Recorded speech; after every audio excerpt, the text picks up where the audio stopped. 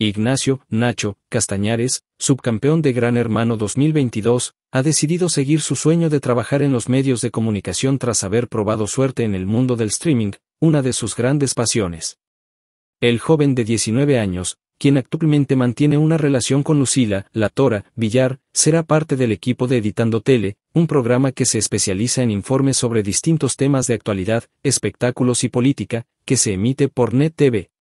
El cambio de canal de Nacho se debe a que NetTV pertenece a Cuarzo, la productora que realizó Gran Hermano y que tiene un contrato con el ex participante.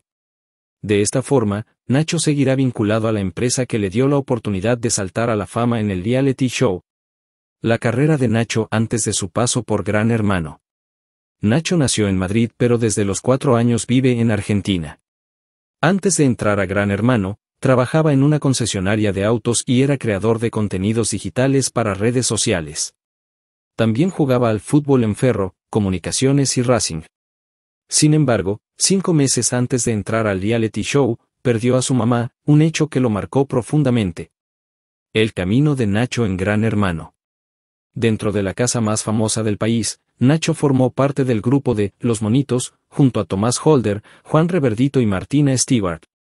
Al principio, fue muy criticado por su forma de jugar, pero luego supo adaptarse y ganarse el cariño del público y de sus compañeros.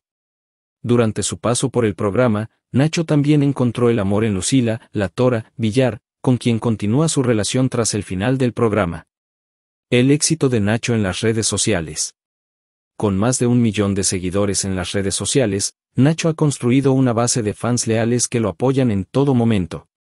En Instagram, comparte su día a día y publica contenido que va desde selfies hasta reflexiones profundas sobre la vida. En TikTok, ha acumulado más de 600.000 seguidores con sus videos graciosos y entretenidos. El nuevo desafío profesional de Nacho. Con su incorporación al equipo de Editando Tele, Nacho disfrutará de un nuevo desafío profesional que puede impulsar su carrera en los medios de comunicación.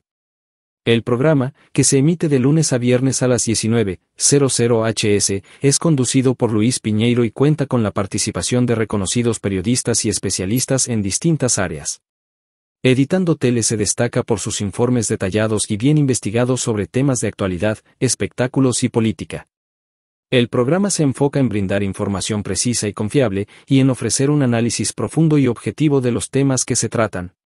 La decisión de Nacho de seguir trabajando en los medios de comunicación es un paso importante en su carrera y demuestra su compromiso con su pasión por la televisión y el periodismo. Aunque su participación en Gran Hermano lo llevó a la fama, Nacho ha demostrado que tiene mucho más para ofrecer y que está dispuesto a trabajar duro.